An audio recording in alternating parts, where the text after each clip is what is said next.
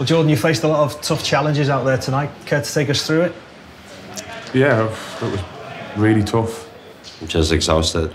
I, I don't think I can do this again. And yeah, I think I've just come to a decision where I just want to quit.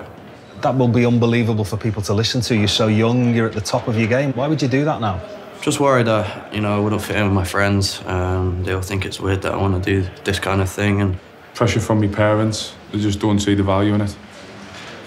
Uh, on my way back home after the training session after the game, I feel just so vulnerable. I'm worried about my, my body image, how I look in front of everyone, and I'm done with football. These are just some of the reasons why twice as many girls quit sport than boys by the age of 14. But if we keep playing, we'll learn life skills like teamwork, leadership, and resilience so we can unleash our full potential. Encourage us, support us, help us play on.